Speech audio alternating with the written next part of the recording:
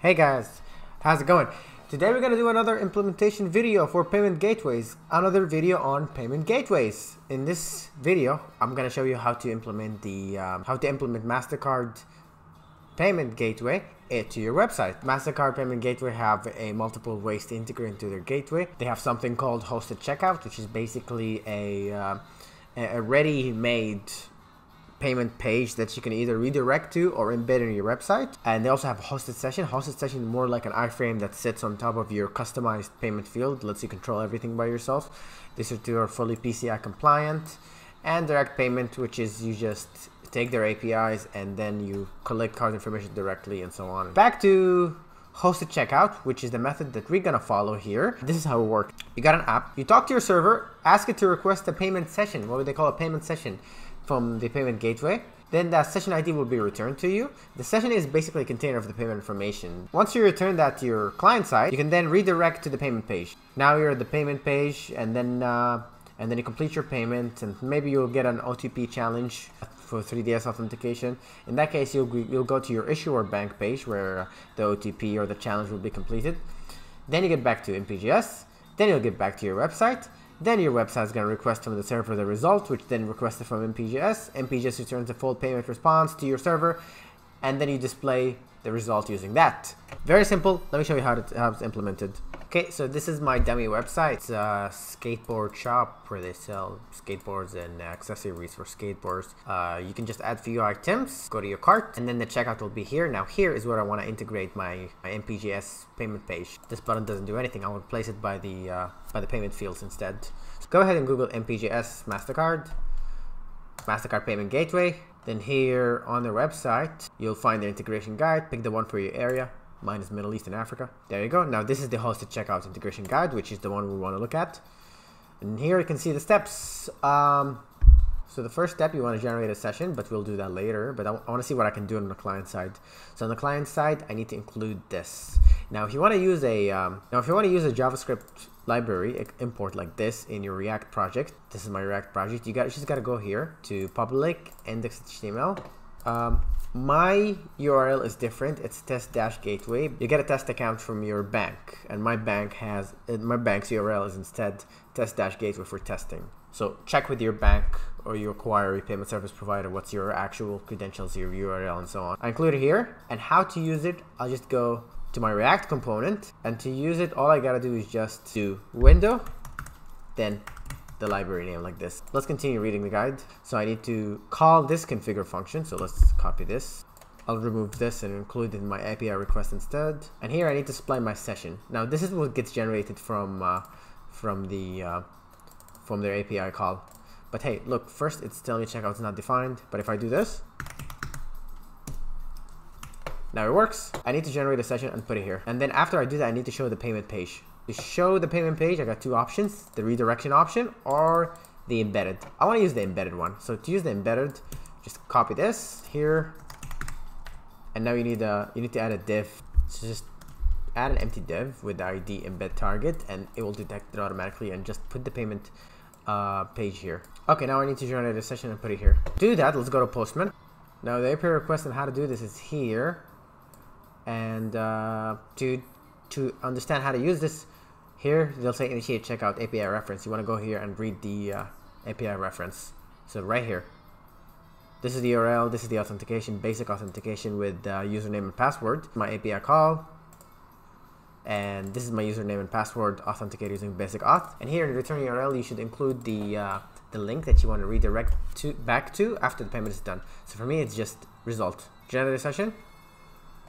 Take it, put it here and this will get triggered as soon as the page loads. So let's see what happens. Save.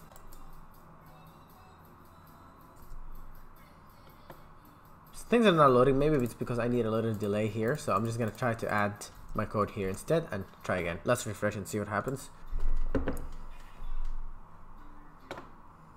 Okay, so that delay did it. Now it's working. So maybe you should need to have a maybe you need to have a minimum of in React you need to have a minimum of one second to give it a chance to load. So in my case, that did it and now the payment page loads cool uh, now let's let's try a sample payment to do that so go here on the guide on the right side down here test and go live click on it go to the first set of cards in here. Just grab this one. Go back to the payment page, enter your name. The expiry date for successful uh, simulation is 0139 and security code is 100. The reason I know this is because it says it here in the guide. So pay.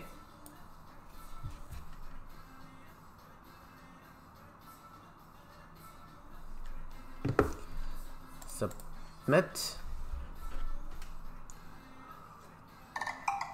You get a nice tone when the payment's done and then it redirects you back to the to your result page that you specified in the API call. Now, let's implement this in API request and see what happens. Okay, so this is my endpoint that I'm going to develop. I've installed my dependencies and now let's implement this. What we see here in Postman, the same thing we're going to implement here in code. Okay, so I'm going to make a request like this. Copy the same URL over. I'll copy my payload, but I'll change a few things. For example, this over here, I want to also append to it the order ID so that I can redirect back to the result page and I can also get the order ID back in my URL. Uh, and also there are a couple of information here that I want to get from the uh, from the client side, like this one, for example. So I just do the same thing here, order ID, same thing with the currency. And I'm gonna do my authentication headers. I'll just slap it here like this. This is my pat my username and password encoded to base 64. And that's all, folks. Okay, so for me, I generate the, uh, for me when I generate the session, what I like to do is that I like to create a new order in my database, but mark it as unpaid, like this. And I'm gonna pass the items that I receive, the card items that I receive from the client side, I'll add it to that database. Same thing with the amount and the currency. I'll make my document IDs to be also the order ID. Um, I will also send back the same response that I got from the MPGS server to the client side so that they can interpret the result and and and get the session ID from the payload. That's it. Now let's test this out. Okay, I have deployed my uh, I have deployed my endpoint to production, and I'm gonna test it out now. Let's see what happens. Just slap the URL, send the request. Let's see what we get. There you go, successful, and I'm getting the results returned successfully. So that's good. Now I can use this in my client side. This function that I call payment request, and I'll do this stuff in here. So here I'm gonna call Axios. These these the uh, the amount, the currency, the car items, the order ID. Then once that all is said and done, I'll just do I'll do what I was doing before, which is I I started the session and embedded my page. All happening after one second. So I'll just use this instead of using the stuff that I have in component did mount. So remove all of this stuff. Go over here. And just to be safe, I'll set a delay of half a second. Let's add a longer delay here just uh just to be safe. Okay, that did it. Now it's working.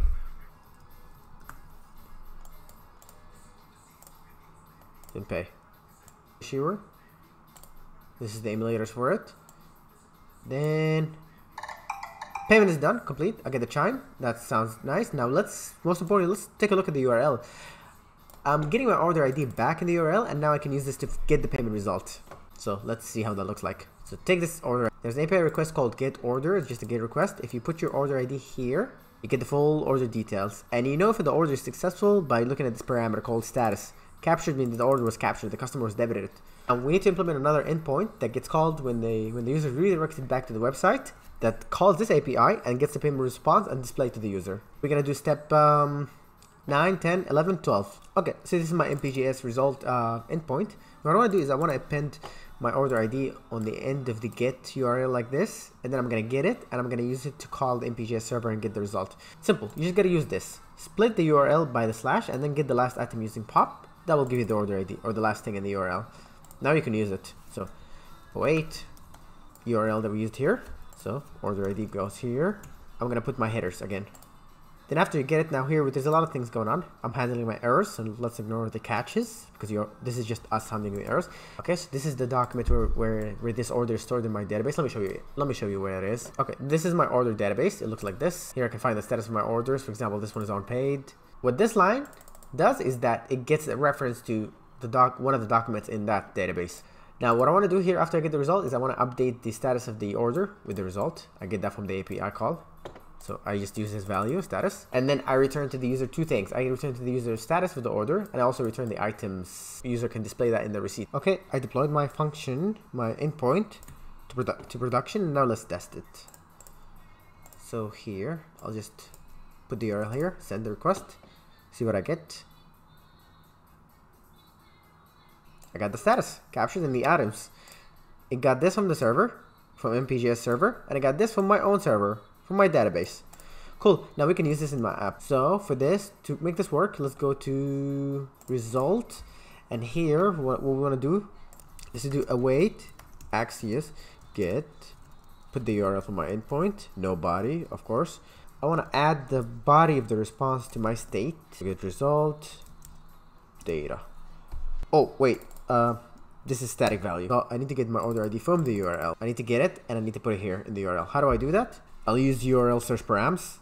This will get me the order ID. I put it here like this. Also want to set the loading status to false because the loading is done. I also want to display the order ID. I can do that like this. This, I need to change it to cap all caps because that's how it's returned my API. Now let's try this again, see if it works. It's loading, it gets result, successful. Uh, but the order reference is not displayed, so let's fix that. But overall, it's good. All the reference, I just need to get that from here instead. Try again. It's getting the order result. There we go, order confirmed. This is the order reference. This is my items that I bought. Nice. So we're pretty much done. Let's do an end-to-end -end test now. 0139 and 100, remember. Pay. Now the payment is loading.